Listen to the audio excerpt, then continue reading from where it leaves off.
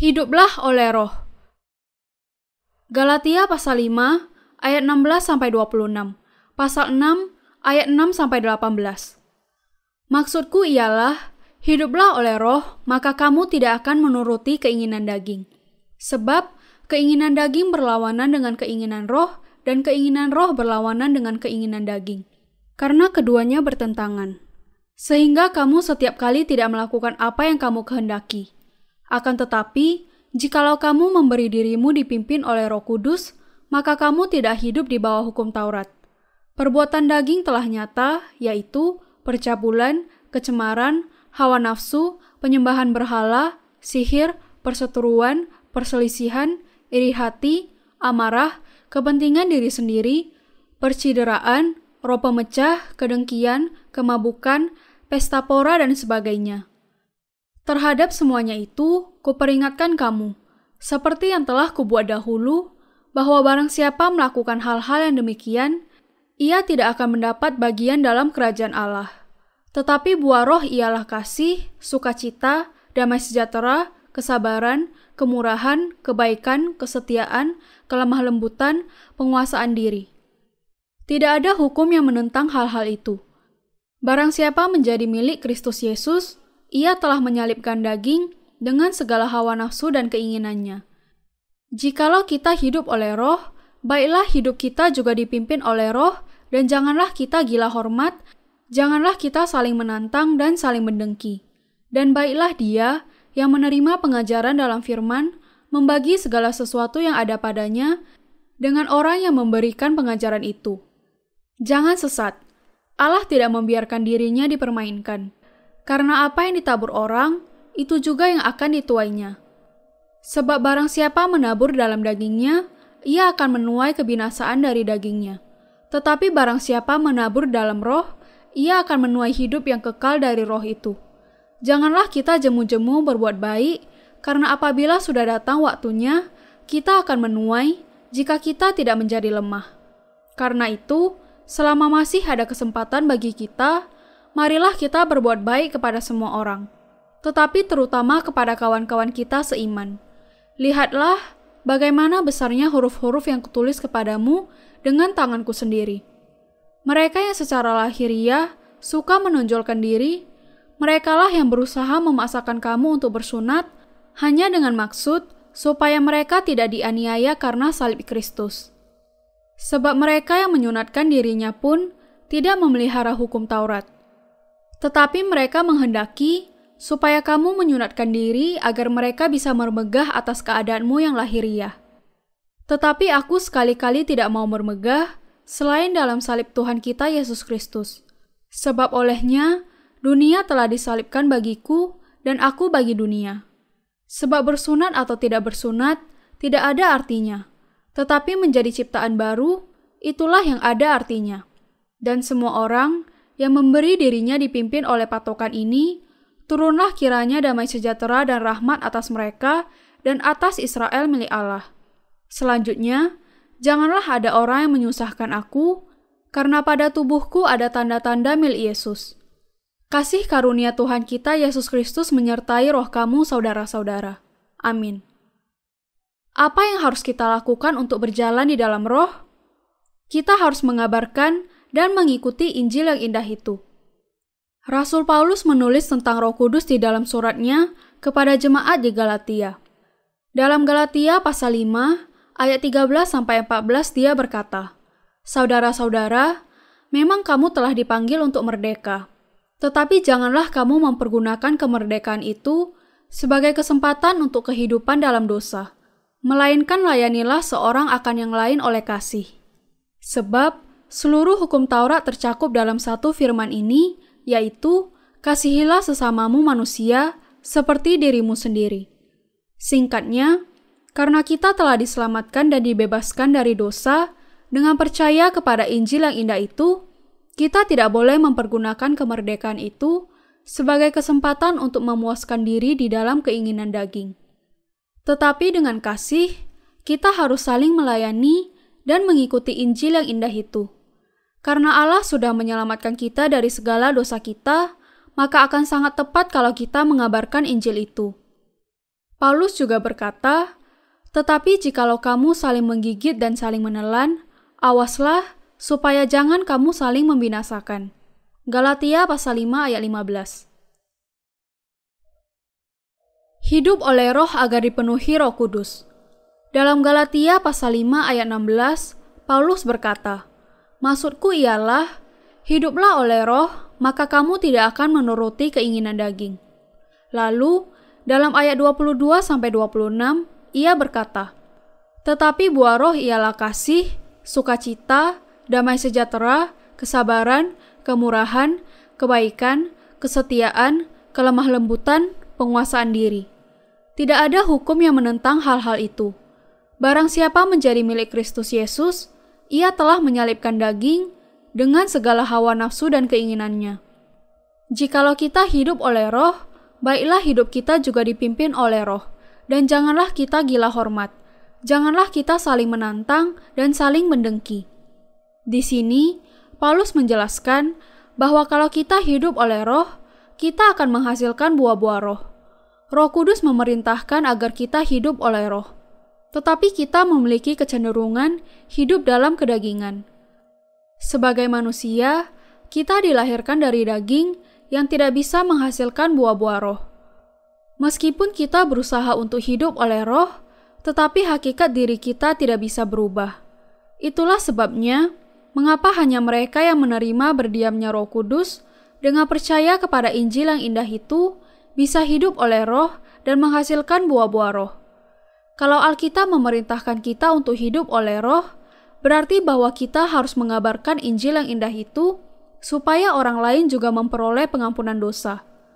Kalau kita hidup bagi Injil yang indah itu, kita akan menghasilkan buah-buah roh. Dengan kata lain, hal itu sama sekali tidak ada hubungannya dengan berubahnya hakikat manusiawi kita. Pada saat kita hidup dengan Injil yang indah itu, kita akan menghasilkan buah-buah roh yaitu kasih, sukacita, damai sejahtera, kesabaran, kemurahan, kebaikan, kesetiaan, kelemah lembutan, penguasaan diri. Buah-buah roh akan menolong kita menyelamatkan orang-orang lain dari dosa-dosa mereka agar mereka memperoleh kehidupan kekal. Keinginan daging versus keinginan roh. Paulus berkata, "Sebab keinginan daging berlawanan dengan keinginan roh, dan keinginan roh berlawanan dengan keinginan daging. Karena keduanya bertentangan, sehingga kamu setiap kali tidak melakukan apa yang kamu kehendaki.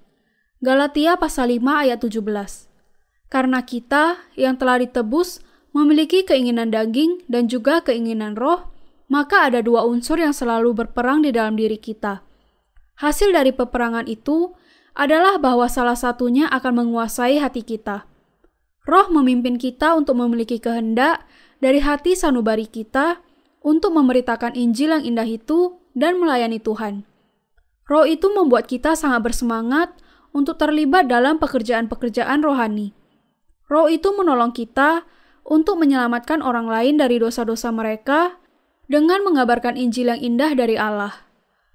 Tetapi sebaliknya, keinginan daging kita membangkitkan hawa nafsu kedagingan sehingga kita tidak bisa hidup oleh roh. Konflik ini tidak berkesudahan antara keinginan daging dengan keinginan roh. Kalau seseorang dikuasai oleh keinginan dagingnya, ia akan menyerahkan dirinya kepada keinginan daging dan menuruti keinginan daging itu. Keinginan daging melawan keinginan roh. Keduanya saling berlawanan, sehingga sering kali kita tidak melakukan apa yang sebenarnya ingin kita lakukan. Lalu, apa saja yang termasuk dalam hidup oleh roh, dan hal-hal apakah yang menyenangkan hati Allah? Allah berkata bahwa mengabarkan dan mengikuti Injil yang indah itu adalah yang disebut dengan hidup oleh roh. Ia memberikan hati yang hidup oleh roh kepada mereka yang memiliki berdiamnya roh kudus, supaya mereka bisa hidup dalam kehidupan rohani. Perintah yang diberikan Allah kepada kita agar kita menghasilkan buah-buah roh melalui hidup oleh roh adalah perintah dan keharusan bagi kita untuk bisa menyelamatkan orang lain dari dosa-dosa mereka dengan mengabarkan Injil yang indah itu. Hidup oleh roh berarti hidup dengan cara yang menyenangkan hati Allah. Untuk bisa hidup oleh roh, pertama-tama kita perlu memiliki berdiamnya roh kudus. Kita harus terlebih dahulu percaya kepada Injil yang indah yang diberikan Allah kepada kita kalau kita mau menerima berdiamnya Roh Kudus di dalam kehidupan kita. Kalau kita tidak percaya kepada Injil yang indah itu di dalam hati sanubari kita, kita tidak akan menerima berdiamnya Roh Kudus dan juga tidak akan mendapatkan keselamatan dari dosa, yang berarti kita tidak akan mungkin hidup oleh Roh. Roh memberikan kepada kita keinginan untuk memberitakan Injil yang indah itu, untuk melayani Tuhan, dan membawa kemuliaan bagi Tuhan. Keinginan ini datang dari hati yang dikhususkan bagi Allah dan untuk memberitakan Injil yang indah itu ke seluruh dunia. Itu juga datang dari hati yang siap melakukan apa pun yang diperlukan untuk mengabarkan Injil yang indah itu. Mereka yang percaya kepada Injil yang indah itu dan menerima Roh Kudus setelah mereka menerima pengampunan dosa akan mampu hidup oleh Roh dan mengkhususkan hidup mereka untuk memberitakan Injil. Inilah harta rohani yang mereka terima dari surga. Mereka yang didiami Roh Kudus akan taat kepada Roh Kudus dan hidup oleh Roh, meskipun mereka masih memiliki nafsu kedagingan karena Roh Kudus berdiam di dalam kehidupan mereka. Paulus berkata, "Hidup oleh Roh." Yang dimaksudkannya adalah bahwa kita harus mengabarkan Injil air dan Roh yang indah itu yang diberikan Yesus kepada kita, supaya kita dapat menolong orang lain untuk mendapatkan pengampunan dari dosa-dosa mereka. Kadangkala, pada saat hidup oleh roh, kita mengikuti keinginan daging. Keinginan daging dan keinginan roh memang saling berlawanan sepanjang kehidupan kita. Tetapi yang harus kita ketahui dan kita kenal adalah bahwa mereka yang didiami Roh Kudus harus menjalani kehidupan oleh Roh. Kalau mereka yang didiami Roh Kudus menolak untuk menghasilkan buah-buah Roh, mereka akan binasa dengan menghasilkan buah-buah kedagingan. Buah-buah yang itu adalah buah-buah kebinasaan yang menyengsarakan. Itulah sebabnya, maka kita harus senantiasa hidup oleh roh. Kita mendengar tentang hidup oleh roh, tetapi masih ada yang bertanya, bagaimana saya bisa hidup oleh roh kalau saya tidak bisa merasakan adanya roh kudus di dalam hidup saya? Beberapa orang merasa bahwa kita hanya bisa mengenali berdiamnya Roh Kudus kalau Allah menampakkan diri dan berbicara langsung kepada kita. Tetapi itu adalah kesalahpahaman. Roh memberikan kepada kita keinginan untuk hidup bagi Injil air dan roh yang indah itu. Mungkin ada saat-saatnya di mana kita sangat yakin bahwa ia memang berdiam di dalam kita. Tetapi kita tidak bisa merasakannya karena kita hidup dalam keinginan daging. Bahkan, Mungkin ada yang merasa bahwa Roh Kudus yang ada di dalam kita sedang tidur. Mereka adalah orang-orang yang sudah menerima Roh Kudus, tetapi masih hidup oleh keinginan daging mereka sendiri. Orang-orang seperti itu hanya mendorong dan mengikuti keinginan daging mereka dan berlaku seperti kehendak daging itu, tetapi pada akhirnya akan menderita karena keinginan dagingnya itu. Bahkan mereka yang telah didiami Roh Kudus memiliki kecenderungan untuk hidup sesuai dengan keinginan daging mereka, karena memang menurut mereka hal seperti itu sudah selayaknya dan lazim. Tetapi mereka yang menyerahkan diri kepada keinginan daging akan menjadi hamba kedagingan. Allah memerintahkan kita untuk hidup sesuai dengan kehendak roh. Itu artinya kita harus melayani Injil yang indah itu. Itu juga berarti bahwa kita harus menyerahkan diri kita sepenuhnya kepada Injil air dan roh yang indah itu. Bersukacita di dalam Injil dan hidup di dalamnya, itulah yang disebut hidup sesuai dengan kehendak roh. Kita harus hidup seperti itu dengan belajar mengenai apa artinya hidup oleh roh. Apakah Anda sedang hidup oleh roh? Bisakah seseorang yang tidak didiami roh kudus hidup oleh roh? Mereka yang belum dilahirkan kembali tidak akan tahu apa artinya hidup oleh roh. Karena itu, banyak orang yang berusaha untuk menerima roh kudus dan mencarinya dengan cara mereka sendiri. Mereka berpikir bahwa tindakan menginginkan dipenuhi roh kudus adalah sama dengan dipenuhi roh kudus itu sendiri. Sebagai contoh, ketika orang-orang berkumpul di suatu gereja untuk berbakti, hamba Tuhan akan berdoa keras-keras dan kemudian jemaatnya berseru memanggil nama Tuhan.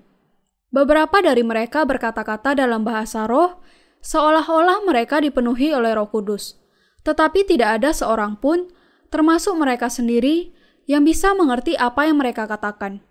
Sementara itu, beberapa dari mereka jatuh ke tanah dan tubuh mereka mulai bergetar tanpa mereka sadari. Mereka sebenarnya kerasukan roh jahat, tetapi mereka berpikir bahwa mereka sudah menerima Roh Kudus. Kemudian, dengan suara keras bergemuruh, mereka berseru, "Tuhan, Tuhan!" Mereka memanggil nama Tuhan, mengalirkan air mata dan bertepuk tangan. Fenomena seperti inilah yang biasa dianggap dipenuhi dengan Roh Kudus. Hamba Tuhan itu lalu berkata-kata dalam bahasa roh sambil memukul-mukul mimbar dan jemaatnya berseru, "Tuhan, Tuhan!" Mereka sangat menyukai situasi seperti itu dan bahkan beberapa orang berkata bahwa mereka mendapatkan penglihatan tentang pohon pengetahuan yang baik dan yang jahat di Taman Eden, atau melihat wajah Yesus pada waktu mereka tidak sadar. Mereka salah mengerti bahwa hal-hal seperti itu adalah sebagai cara untuk menerima Roh Kudus, dipenuhi dengan Roh Kudus, dan hidup oleh Roh. Tindakan-tindakan mereka yang salah adalah akibat dari kesalahpahaman mereka mengenai firman Allah dan Roh Kudus. Hidup oleh Roh. Itulah yang diperintahkan Allah kepada kita yang telah dilahirkan kembali. Itu berarti bahwa kita harus melakukan hal-hal yang menyenangkan hati Allah. Paulus membandingkan antara perbuatan sebagai hasil buah-buah roh dengan perbuatan daging. Ia berkata, "Tetapi buah roh ialah kasih, sukacita, damai sejahtera, kesabaran, kemurahan, kebaikan, kesetiaan, kelemah lembutan, penguasaan diri." Galatia pasal 5 ayat 22 sampai 23. Hidup oleh roh berarti mengabarkan Injil yang indah itu dan menyelamatkan orang lain dari dosa-dosa mereka. Kalau kita melakukan hal itu, kita akan mampu menghasilkan buah-buah roh. Buah-buah roh adalah kasih, sukacita, damai sejahtera, kesabaran, kemurahan, kebaikan, kesetiaan, kelemah lembutan, penguasaan diri. Dan kita hanya bisa menghasilkan buah-buah roh itu kalau kita hidup dengan Injil yang indah itu. Kalau seseorang melayani dan mengabarkan Injil yang indah itu, mengorbankan dirinya untuk Injil yang indah itu, maka ia bisa memiliki kehidupan rohani yang dipenuhi dengan Roh Kudus. Sebagai salah satu dari buah-buah roh, kebaikan berarti melakukan perbuatan-perbuatan baik. Kata itu berarti kebajikan. Melakukan kebajikan bagi Injil yang indah itu dan melakukan sesuatu bagi kepentingan orang lain, termasuk dalam kebaikan. Kebaikan yang tertinggi di mata Allah adalah memberitakan Injil bagi keuntungan orang lain. Kemurahan berarti memiliki belas kasihan kepada orang-orang lain. Mereka yang memiliki belas kasihan kepada orang lain, yang melayani Injil dengan kesabaran dan kemurahan, akan mendapatkan damai sejahtera. Mereka yang hidup oleh roh akan sangat bersuka cita kalau melihat pekerjaan Tuhan digenapkan, suka melakukan pekerjaannya, mengasihi orang lain, dan setia dalam segala hal. Meskipun tidak ada orang lain yang memerintahkan mereka untuk melakukan hal itu, mereka yang didiami Roh Kudus akan setia dalam pekerjaan Tuhan sampai semua tugasnya diselesaikan. Ia lemah lembut dan senantiasa menguasai diri. Ia memiliki buah-buah roh. Orang yang memiliki Roh Kudus di dalam dirinya harus hidup oleh Roh. Hanya kalau orang itu hidup oleh Roh, ia bisa menghasilkan buah-buah roh. Anda juga bisa menghasilkan buah-buah roh kalau Anda berjalan di dalam roh. Tetapi kalau tidak, maka Anda justru akan berjalan di dalam nafsu kedagingan. Alkitab berkata di dalam Galatia pasal 5 ayat 19 sampai 21. Perbuatan daging telah nyata, yaitu percabulan, kecemaran, hawa nafsu, penyembahan berhala, sihir, perseteruan, perselisihan, iri hati, amarah, kepentingan diri sendiri, percideraan, roh pemecah, kedengkian, kemabukan, pesta pora, dan sebagainya. Terhadap semuanya itu kuperingatkan kamu, seperti yang telah kubuat dahulu, bahwa barang siapa melakukan hal-hal yang demikian, ia tidak akan mendapat bagian dalam kerajaan Allah. Perbuatan daging telah nyata. Perbuatan daging memang sangat nyata. Kata yang pertama dalam perbuatan daging adalah percabulan, yang berarti terlibat dalam hubungan yang tidak semestinya dengan lawan jenis. Yang kedua adalah kecemaran. Yang ketiga hawa nafsu. Lalu ada penyembahan berhala yang berarti melayani sesuatu yang lain dan bukan melayani Allah. Kemudian sihir. Selanjutnya perseteruan. Kalau seseorang yang tidak memiliki Roh Kudus hidup dalam kedagingan, maka ia tidak bisa melakukan apa-apa selain menunjukkan perseteruannya dengan orang lain karena memang itulah sifatnya. Lalu ada perselisihan. Artinya, orang itu suka berbantah-bantah dengan sahabatnya atau keluarganya. Selanjutnya ada iri hati, amarah, kepentingan diri sendiri. Semua itu adalah ciri-ciri dari orang-orang yang hidup dalam kedagingan mereka. Selanjutnya, ada percideraan. Kalau seseorang hanya berjalan sesuai dengan keinginan dagingnya, sangat tidak mungkin baginya untuk melakukan pekerjaan gereja dan dia pada akhirnya akan meninggalkan gereja itu dan berjalan sesuai kehendaknya sendiri. Selanjutnya adalah roh pemecah. Orang-orang yang berjalan dalam keinginan daging melakukan semuanya demi memuaskan kehendaknya sendiri. Tetapi hidup yang seperti itu sangat berbeda dengan kehendak Allah dan kemudian pada akhirnya akan menjauh dari Injil. Tidak ada seorang pun yang memiliki iman kepada firman Allah yang akan menyimpang dari kehendak Allah. Kedengkian, kemabukan, pesta pora, juga hasil-hasil dari keinginan daging. Mereka yang hidup oleh keinginan daging akan selalu melakukan hal-hal yang seperti itu. Itulah sebabnya Allah memerintahkan kita hiduplah oleh roh. Kita yang sudah dilahirkan kembali harus hidup oleh roh. Mereka yang belum dilahirkan kembali hanya memiliki nafsu kedagingan di dalam hati mereka. Itulah sebabnya mereka terlibat dalam percabulan, kecemaran, hawa nafsu, penyembahan berhala. Para hamba Tuhan palsu yang belum dilahirkan kembali melakukan sihir kepada para pengikut mereka, supaya pengikut mereka itu menyumbangkan sejumlah besar uang. Mereka memberikan tanggung jawab dan posisi yang tinggi kepada mereka yang menyumbang banyak. Mereka yang hidup oleh keinginan daging menunjukkan kebencian mereka kepada orang lain. Mereka memecah gereja-gereja menjadi banyak denominasi, menyombongkan denominasi mereka sendiri, dan menuduh denominasi-denominasi lain sebagai gereja sesat. Perseturuan, perselisihan, iri hati, amarah, kepentingan diri sendiri, percideraan, roh pemecah kedengkian. Semuanya ada di dalam hati mereka yang belum dilahirkan kembali. Dan hal yang sama juga bisa terjadi di antara kita orang-orang saleh kalau kita tidak hidup sesuai dengan kehendak roh. Roh Kudus membuat orang Kristen yang sudah dilahirkan kembali menghasilkan buah-buah roh. Mereka yang sudah dilahirkan kembali harus menjalani kehidupannya untuk memberitakan Injil yang indah itu. Karena terlalu berat bagi kita untuk mengikuti Tuhan sendirian, kita harus melakukan pekerjaan pelayanan kepada Injil yang indah itu dengan bergabung ke dalam gereja Tuhan. Kita harus berdoa bersama dan mempersembahkan tenaga kita untuk menjadi seseorang yang hidup oleh Injil yang indah tentang Roh Kudus.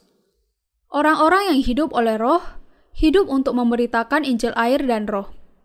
Dengan kata lain, hidup oleh keinginan daging berarti menjalani kehidupan hanya untuk dirinya sendiri, dan hidup oleh Roh berarti bekerja untuk menyelamatkan jiwa-jiwa orang lain. Banyak orang Kristen yang sudah dilahirkan kembali menjalani kehidupan yang indah itu. Mereka hidup bagi kebaikan orang lain. Ada begitu banyak orang di dunia ini yang sama sekali belum pernah mendengar mengenai Injil yang indah itu. Kita mengasihi juga orang-orang di Afrika dan Asia.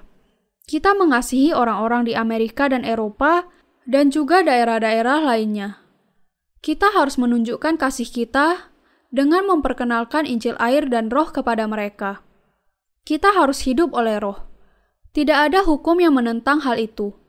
Tetapi buah roh ialah kasih, sukacita, damai sejahtera, kesabaran, kemurahan, kebaikan, kesetiaan, kelemah lembutan, penguasaan diri. Tidak ada hukum yang menentang hal-hal itu. Galatia pasal 5 ayat 22 sampai 23. Adakah hukum yang menentang hal-hal itu? Tidak. Inilah hukum roh yang harus kita taati. Paulus memerintahkan agar kita hidup oleh roh. Sama seperti Tuhan Yesus Kristus memberikan hidupnya bagi orang-orang berdosa, kita juga harus memberitakan Injil kepada orang lain. Menyelamatkan orang lain dari dosa-dosa mereka adalah salah satu tanda hidup oleh roh. Kita harus hidup oleh roh. Paulus berkata dalam Galatia pasal 5 ayat 24 sampai 26. Barang siapa menjadi milik Kristus Yesus, ia telah menyalibkan daging dengan segala hawa nafsu dan keinginannya. Jikalau kita hidup oleh roh, baiklah hidup kita juga dipimpin oleh roh, dan janganlah kita gila hormat, janganlah kita saling menantang dan saling menengki. Kita harus menjalani kehidupan kita untuk menyelamatkan jiwa-jiwa yang terhilang kalau kita mau hidup oleh roh. Kita harus melakukan pekerjaan roh dan berjalan bersamanya. Roh Kudus yang diberikan Allah kepada kita memimpin kita hidup dengan Yesus Kristus di dalam hati kita. Roh Kudus adalah Raja Kasih. Allah mau memakai kita sebagai alat untuk kasihnya. Paulus berkata, Barang siapa menjadi milik Kristus Yesus, ia telah menyalibkan daging dengan segala hawa nafsu dan keinginannya. Galatia pasal 5 ayat 24. Ia juga berkata bahwa mereka yang dilahirkan kembali sudah mati bersama dengan Kristus. Mereka yang sungguh-sungguh dilahirkan kembali sudah sungguh-sungguh mati bersama Kristus. Kita tidak menyadarinya, tetapi kita mati bersama Kristus ketika Ia disalibkan untuk membayar hutang dosa-dosa kita. Dengan kata lain, kenyataan bahwa Yesus disalibkan berarti bahwa Anda dan saya sudah mati bersamanya di kayu salib. Kematiannya adalah kematian kita, dan kebangkitannya melambangkan jaminan akan kebangkitan kita. Anda dan saya hidup dan mati di dalam Yesus Kristus melalui iman kita. Kita perlu memiliki iman kita.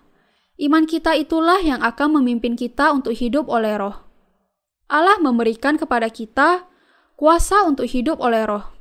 Karena itu, kita yang sudah diampuni segala dosa kita harus hidup oleh roh.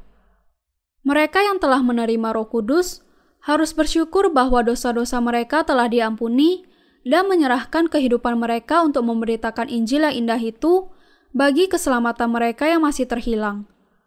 Meskipun seseorang sudah menerima pengampunan dosa dan dilahirkan kembali, ia akan terpisah dari gereja Tuhan dan tidak mampu melayani Dia kalau ia terus hidup sesuai dengan keinginan dagingnya sendiri. Anda dan saya harus hidup sesuai dengan Injil air dan Roh sampai hari kedatangan Tuhan kita Yesus Kristus. Jangan gila hormat tetapi hiduplah dengan dipenuhi Roh Kudus. Paulus berkata, "Janganlah kita gila hormat, janganlah kita saling menantang dan saling mendengki." Apakah yang dinamakan gila hormat? Hal itu adalah berjalan sesuai dengan nafsu kedagingan. Ada banyak orang di dunia yang sangat gila hormat. Banyak orang mengumpulkan uang, memupuk penghormatan, mengasihi keindahan dunia, dan menjalani kehidupan hanya untuk masa sekarang ini saja. Tidak ada hasil apa-apa yang akan didapatkan, dan mereka justru akan layu dan kemudian lenyap di telan waktu. Itulah sebabnya mengapa orang-orang yang hidup oleh keinginan daging sering disebut gila hormat. Kalau memang orang itu menjadi kaya, apakah ia memiliki damai sejahtera dan kepuasan? Buah-buah kedagingan pada akhirnya akan layu dan lenyap. Hal-hal duniawi tidak memiliki manfaat bagi jiwa orang lain dan hanya bagi dirinya sendiri. Semuanya itu hanya baik untuk daging seseorang saja. Alkitab berkata, "Ada yang menyebar harta tetapi bertambah kaya. Ada yang menghemat secara luar biasa namun selalu berkekurangan." Amsal pasal 11 ayat 24. Mereka yang belum dilahirkan kembali berusaha untuk menyimpan banyak uang. Bagi mereka, Hal-hal duniawi adalah segala-galanya, sehingga mereka tidak memiliki tempat bagi orang lain di dalam hati mereka. Itulah sebabnya yang mereka kehendaki dan yang mereka perdulikan hanyalah diri mereka sendiri. Tetapi dikatakan dalam Alkitab bahwa ada seseorang yang menahan dan menimbun secara berlebihan, tetapi kemudian kemiskinan datang kepadanya. Banyak orang berjalan dalam keinginan daging mereka, tetapi akibatnya sama pada akhirnya, mereka mati karena kejahatan mereka. Semua itu adalah akibat dari gila hormat. Mereka yang suka mengikuti keinginan roh. Paulus ingin menghidupi kehidupan dalam roh. Dan memang dia menjalani kehidupan yang demikian. Ia mengajar kita untuk hidup dalam kebaikan melalui firman Allah. Ia berkata dalam Galatia pasal 6 ayat 6 sampai 10.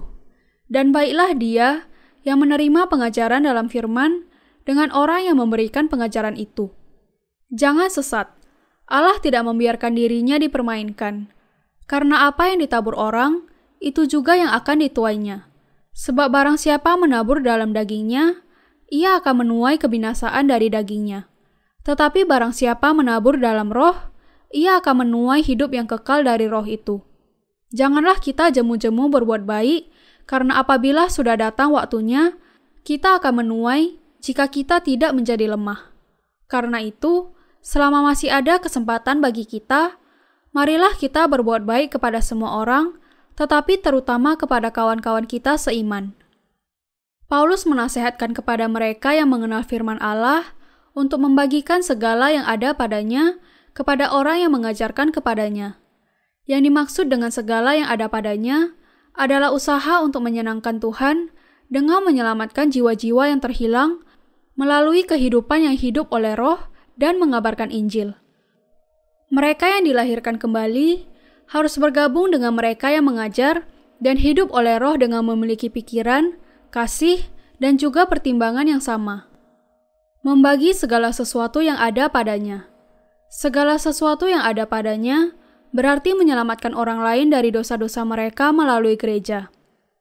Paulus menyuruh kita untuk melakukan segala sesuatu dalam pikiran yang sama, doa yang sama, dan juga ketaatan yang sama.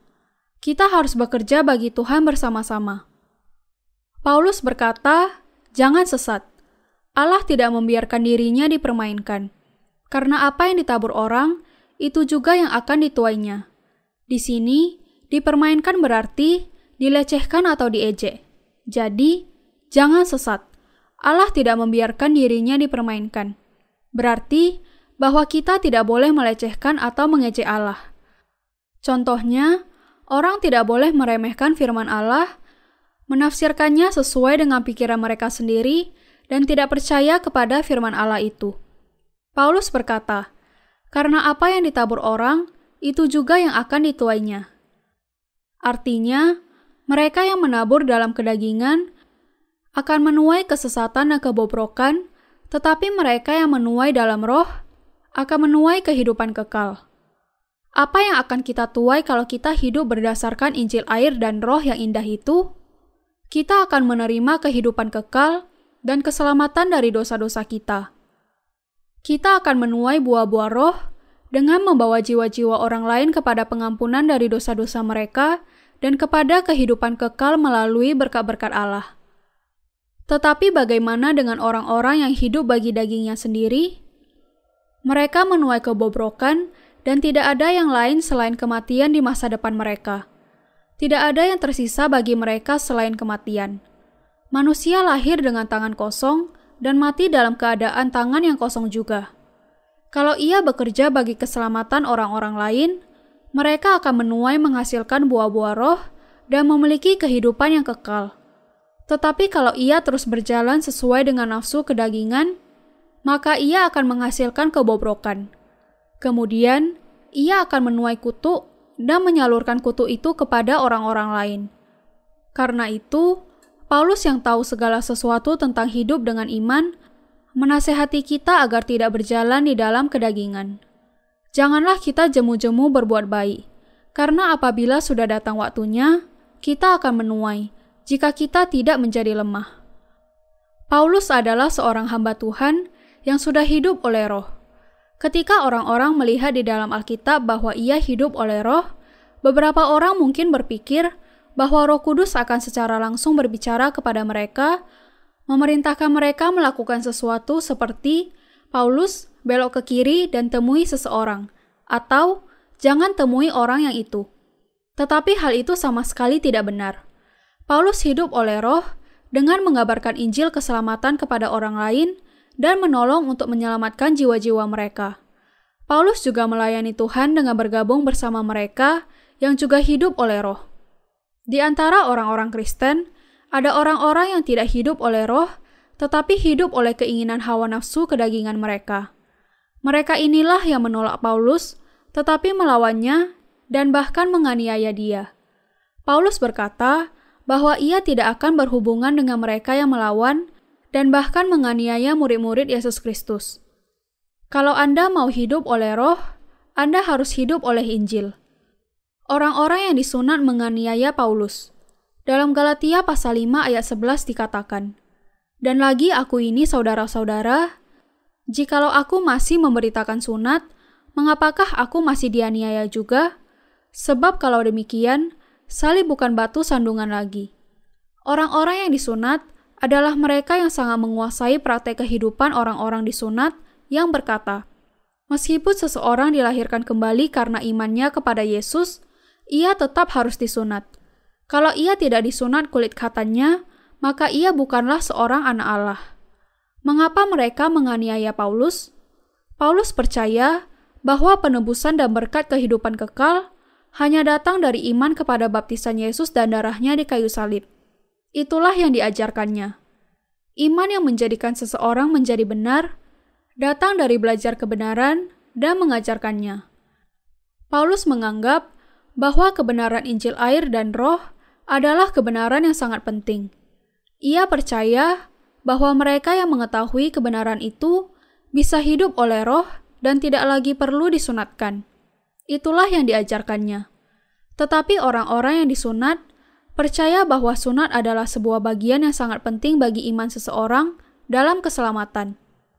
Tetapi sebenarnya tidak ada Injil selain yang diberikan oleh Allah, dan karena itu kita tidak boleh menambahkan atau mengurangi dari kebenaran itu. Pada saat Paulus berjalan di dalam roh, ia diremehkan dan bahkan dianiaya oleh sesama orang Yahudi. Mereka yang secara lahiriah suka menonjolkan diri, merekalah yang berusaha memaksa kamu untuk bersunat hanya dengan maksud supaya mereka tidak dianiaya oleh salib Kristus. Sebab mereka yang menyunatkan dirinya pun tidak memelihara hukum Taurat. Tetapi mereka menghendaki supaya kamu menyunatkan diri agar mereka dapat bermegah atas keadaanmu yang lahiriah. Tetapi aku sekali-kali tidak mau bermegah selain dalam salib Tuhan kita Yesus Kristus. Galatia pasal 6 ayat 12 sampai 15. Lalu Paulus berkata kepada mereka yang disunat, mereka yang secara lahiriah suka menonjolkan diri, merekalah yang berusaha memasakkan kamu untuk bersunat hanya dengan maksud supaya mereka tidak dianiaya karena salib Kristus. Paulus menegur mereka yang berjalan menuruti keinginan daging. Mereka berjalan sesuai dengan nafsu daging dalam perbuatan mereka, dan banyak orang menyukai mereka. Tetapi Paulus mengakhiri hubungannya dengan mereka. Paulus berkata, "Tetapi aku sekali-kali tidak mau bermegah selain dalam salib Tuhan kita Yesus Kristus." Yesus Kristus dibaptiskan oleh Yohanes untuk menanggung dosa dunia dan mati di kayu salib untuk menyelamatkan Paulus dan semua orang lain yang dipanggil Tuhan Allah kita. Paulus berkata, "Sebab olehnya dunia telah disalibkan bagiku dan aku bagi dunia. Sebab bersunat atau tidak bersunat tidak ada artinya, tetapi menjadi ciptaan baru, itulah yang ada artinya." Paulus yang telah mati bagi dunia hidup lagi di dalam Kristus. Kita memang telah mati di dalam kematian Kristus, tetapi kita sering melupakan kebenaran itu. Kita harus percaya kepada kebenaran ini. Kalau kita tidak memiliki iman kepada kebenaran ini, kita terikat kepada nafsu daging dan oleh keluarga kita, dan hal itu menghalangi kita untuk berjalan dengan Tuhan. Daging kita begitu lemah sehingga keluarga kita pun tidak akan mampu menolong kita dalam mengikuti Dia. Hanya Tuhan yang bisa menolong kita. Tetapi kita sekarang telah disalibkan bagi dunia. Bagaimana mungkin seorang yang sudah mati menolong orang-orang dunia dalam urusan dunia mereka? Orang-orang yang mati di dunia ini tidak akan bisa memiliki hal-hal dunia. Yesus dibangkitkan.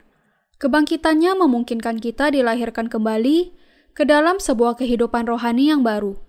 Di sana, kita memiliki pekerjaan baru, keluarga yang baru, dan pengharapan yang baru. Kita adalah orang-orang yang dilahirkan kembali. Kita, sebagai tentara surga, memiliki kewajiban untuk mengabarkan firman Allah. Paulus mengakui bahwa ia menjadi orang yang menolong orang lain menerima keselamatan bukan melalui kekuatan fisik, tetapi memakai metode-metode rohani. Ia berkata bahwa ia sudah mati dan dilahirkan kembali melalui Yesus Kristus. Mari kita berjuang untuk menjadi orang-orang yang berani memberikan pengakuan yang sama tentang kepercayaan kita. Paulus berkata di dalam Galatia pasal 6 ayat 17 sampai 18. Selanjutnya, janganlah ada orang yang menyusahkan aku karena pada tubuhku ada tanda-tanda milik Yesus. Kasih karunia Tuhan kita Yesus Kristus menyertai roh kamu saudara-saudara. Amin. Paulus memiliki tanda-tanda milik Yesus. Ia sama sekali tidak mempedulikan kesehatannya untuk bisa berjalan di dalam roh. Ia tidak bisa menulis karena penglihatannya semakin merosot. Karena itu, tidak sedikit dari surat-surat Paulus ditulis oleh sahabat-sahabatnya seperti Tertius yang mencatat dari apa yang dikatakan Paulus. Meskipun secara fisik ia lemah, ia bersuka cita karena bisa hidup oleh roh dan berkata, Sebab itu, kami tidak tawar hati tetapi meskipun manusia lahiriah kami semakin merosot, namun manusia batiniah kami dibaharui dari sehari ke sehari. 2 Korintus pasal 6 ayat 16. Paulus memberi peringatan kepada kita agar menjadi orang-orang yang berjalan di dalam roh. Ia juga berkata, hidup oleh roh berarti hidup bagi Injil. Anda dan saya harus ingat apa artinya berjalan di dalam roh. Kita tidak boleh mengejar kesia-siaan tetapi melayani dan hidup bagi Injil. Mari kita hidup oleh roh sepanjang kehidupan kita. Dengan percaya kepada Injil air dan roh, roh yang benar ada di dalam hati kita. Allah akan dengan sangat senang menjawab kalau kita berdoa sesuai dengan Injil. Menghasilkan buah-buah roh berarti hidup oleh roh dan menebus jiwa-jiwa. Anda bisa menghasilkan buah-buah roh, yaitu kasih, sukacita, damai sejahtera, kesabaran, kemurahan, kebaikan, kesetiaan, kelemah lembutan, penguasaan diri, kalau Anda hidup oleh roh dan hidup bagi Injil. Untuk mengabarkan Injil air dan roh, kita harus menderita, bersabar, menunjukkan kemurahan, dan melakukan kebaikan kepada jiwa-jiwa yang masih sesat.